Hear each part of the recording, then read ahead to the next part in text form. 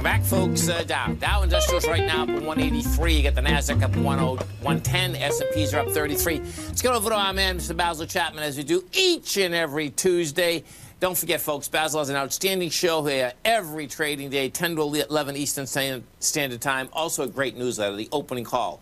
Now, what Basil's doing this afternoon, right after my show at 4 o'clock from 4 to 5.30 Eastern Standard Time, he's going to be doing a great webinar for all his subscribers. And you can be a subscriber right now, right here, folks, okay? The webinar is going to go for an hour and a half. Bottom line, if you're a subscriber to his opening call, you're going to get not only a great newsletter for the month, you're going to get a great webinar. He has about uh, additional uh, 10 webinars probably up there. And if the newsletter works for you, folks, that's great. If it doesn't work for you 30 days from now, you get your money back. Our man, Mr. Basil Chapman, let me, he'll, we're going to bring him on. He can tell you what this webinar is going to be all about. Couldn't be a better time for a webinar, that's for sure. Basil Chapman, what's going on, man? Well, what's going on is uh, we've got, what is it, uh, uh 35, 40 minutes to go. That's and then right. we hit that webinar. I'm looking forward to it because, as you said, this is a perfect time. And I, I set this up saying, I know that it's going to be a good time, but that's not the issue. The issue that I wanted to um, really deal with was what do you do now? You know, there are a lot of people that kind of lightened up, and we had lightened up going into that August the 16th high in the Dow, and uh, we were lucky to get some shorts on the downside. Everything worked out well. And as we came into the uh, lows that were made around about the 20th of September, there was a bounce and then a retest, and we decided that um, at this point, no shorts at all. We wanted to go to the long side to see whether or not these lowercase h patterns that I'll be talking about in my webinar can turn into a break of this green and red down, little mini down channel that I call the inside track repellent zone. And look how many times the Dow got repelled and then it broke out. So we, we were buying the diamonds for quick trades and then we got stopped out for, for a gain as they pulled back. Then we got back in. We just missed this one, this big green bar right here. That was four days ago, but we did manage to go long at, at the, as the market dipped yesterday. I had an indicator that said there should be an early morning, uh, early morning weakness to negative in the Dow. We were able to go long the Dow. So once again, besides our core position that we have from April of last year, just just off the lows, we actually got the day of the low with options, and then we also kept the option, then bought the diamonds. So we still have that core position. We added to it um, yesterday morning and keep treating it as a trade right now because uh, we're really close to an all-time high. This is where you expect some kind of resistance at 35,631. We're trading at 35,439. So I thought the best thing, since we're just about to go to the webinar, is it's so difficult for people listening to say, so what is he doing? What does it mean? I, you know, it's, it's like I, I, was a professional uh, clarinetist uh, way way back.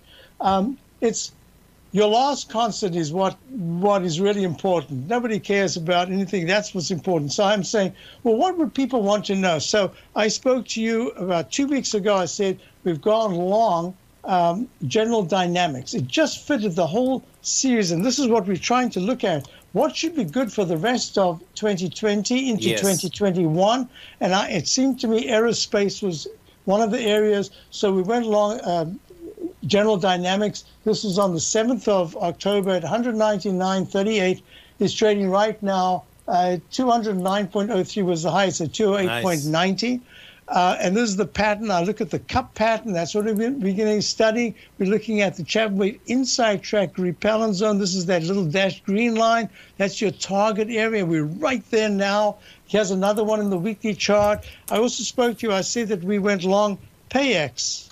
And uh, Paychex is yeah, right. A P A Y X is the symbol. Oops, I should have hidden put it into the right category right there, P-A-Y-X. And we went long in the 113 area.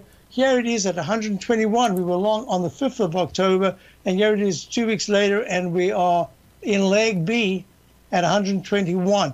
So there are specific ideas that I have for this particular phase. We've got, we've been very Yeah, fortunate. that We've got- Paychex is a nice ABC up too, man. That's and Yeah, I, I, you know, we were looking at it together. I agree. And look at the monthly chart in leg D, but nothing here is weak about this leg D. And this is a beautiful pattern that I'll be teaching this Chapman Wave little falling axis, uh, expanding cone formation. If you can identify these and get the breakout, Look at that beautiful move to the upside. We actually saw that in the Dow. We're seeing it now in the S&P, and even the Qs are doing that. So it's very specific. Specific this move. We, we're rolling into different sectors. We also went long the GDX. I spoke to you about it the other day. I said, you know, this is the pattern. This is the upside down pattern that we were talking about. That falling X, and it did a one to one in the weekly chart. I like the fact that the GDX is move, had been moving up not gold. I prefer if gold sort of follows. This is my own belief. You're the expert, but this is where I look at it. I like it when the miners start to move because it says there's something going on there. If they just stall and gold moves, gold's more a fear factor than anything else. This is where they're moving together. So far, this is good. So this is a very nice time because I have now, I'm starting to include going back to some very low price stocks that I think have the chance to move as well this is a perfect time for, for this. And even the stocks that we've just entered, they look like they're fairly early in this move. So there's always a chance to add to it. I think this is a very nice time to be looking freshly at the market. And there is a turnaround. And when you've got the Dow almost two, just under 200 points away from an all time high, that is remarkable action. I mean, wow. Yeah, there's no doubt. And folks, it's very easy to come into Basil's newsletter. So come over to our website at TFNN. You're going to see the uh, opening call. You're going to see him right under featured content for the webinar today. Uh, you're going to subscribe to his newsletter. It's $149 for one month. It's $6.95 for six months. You save 199 bucks at 22%. You can get it for a year for $11.95. You save $593 or 33%. Now, they all come with a 30-day money-back guarantee. So you come over, you subscribe. If it works for you, great. Bottom line, if it doesn't work for you for some reason, you get your money back, you come into a great new um, webinar, and you learn how to ride that Chapman wave. And Basil has a huge amount of other webinars out there that you're going to be able to take advantage of. Uh, Basil, off, uh, this is off, off topic, okay, because I know you, are getting ready for your webinar, but I just got to get this feedback from you.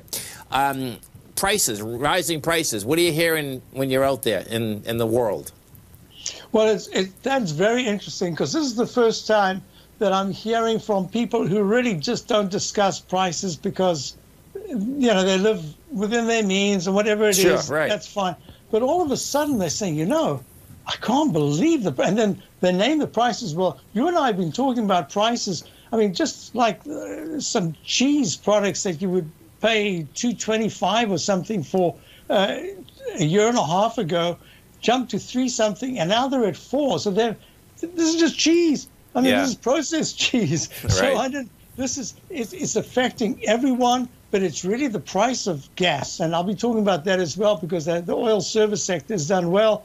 We we've sort of skipped that sector. We're going to be looking for the next pullback there to start positions. So I I think this is something we have to take seriously. Um, just to be aware of that prices have every every single thing you you look at the There's no doubt. I mean, oil. Just so just so you can wrap your head around this, folks. Okay, so from August 23rd to now, oil uh, bottom line went up twenty dollars a barrel. Twenty dollars a barrel. I mean, that affects. It's like a yeah. tax. Huge. Yeah. Huge.